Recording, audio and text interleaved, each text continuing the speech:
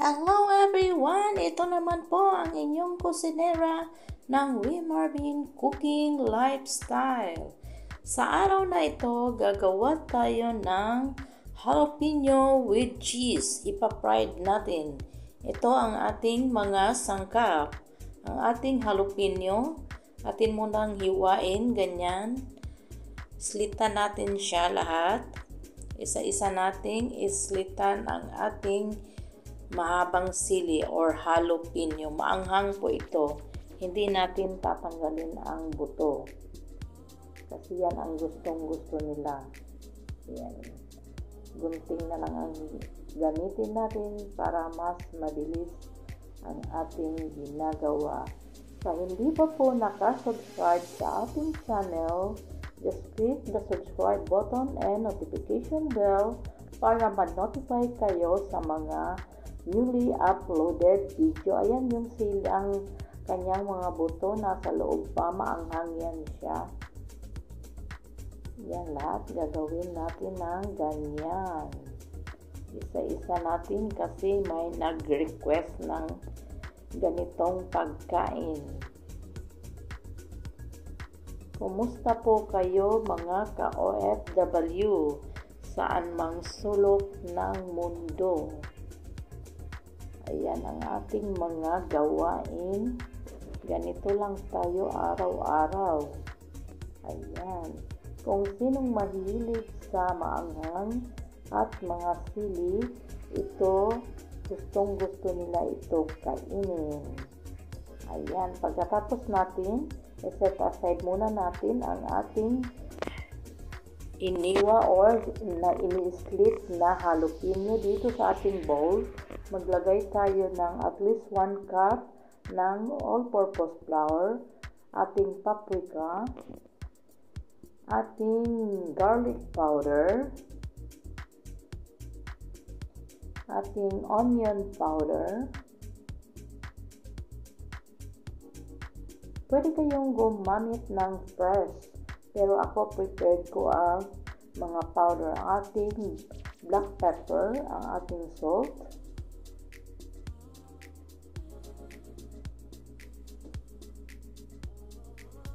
Ito ang ating chili powder.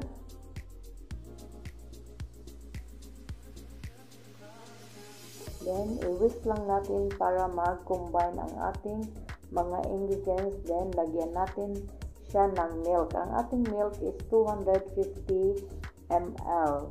Dahan-dahan lang natin ilagay ang ating milk para hindi siya mag-curdle at mag-well combine ang ating butter. Ayan, mix lang natin, whisk lang natin mabuti para mag-combine. Ayan, whisk and whisk lang. Again, sa mga hindi pa nakasubscribe sa ating channel, just click the subscribe button and notification bell para ma-notify kayo sa ating mga newly uploaded video. After nating magawa ang ating butter, set aside at lalagyan naman natin ng mozzarella cheese ang ating ginawang sili kanina. Ayan. Lagyan lang natin siya ng palaman or toppings. Fillings, I mean. Ayan na sila. Lagyan natin. Depende sa inyo kung gaano karami ang inyong ilalagay na mozzarella cheese sa loob.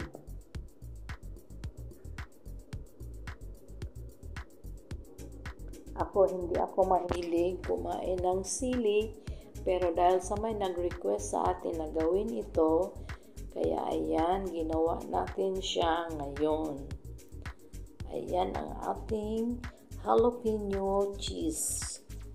Ayan, tapos na nating nalagyan lahat ng mozzarella cheese ang ating jalapeno. Ngayon, dito naman natin siya ipapry na preheat na natin ang ating deep fryer. Ayan, ganyan ang ating gawin. I-press natin ang ating cheese bago natin ilublob sa ating ginawang butter kanina. Ayan. Ang purpose ng paglublob dyan para hindi po siya matanggal yung kanyang cheese. Tsaka ang ating butter is masarap yan siya. Magiging crispy yan siya pag kinain natin. Yan sa mga mahilig maanghang dyan. And be careful lang po kasi ang ating mantika as ay masyadong mainit. Baka maabutan ang ating gloves, masunog ang ating kamay. Ayan, isa-isa natin. Continue lang ang process ng ating paglublob sa butter.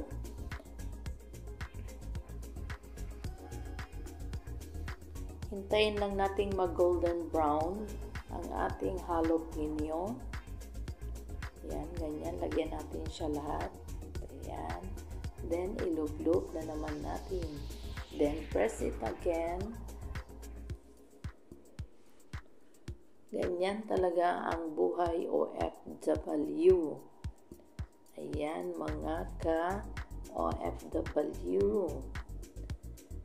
Sa mga amo nyong mahihilig sa maanghang, ganito ang gawin ninyo. Masarap po ito kasi yung butter natin is templado yan siya.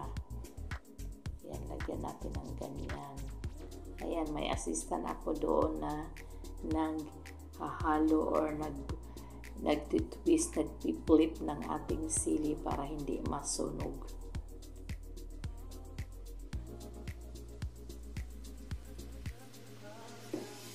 Ayan na. Tapos na natin, lagyan natin siya ng sauce. Ayan na ang ating jalapeno with cheese. Maraming salamat sa ulitin. Thanks for watching. Bon appetit!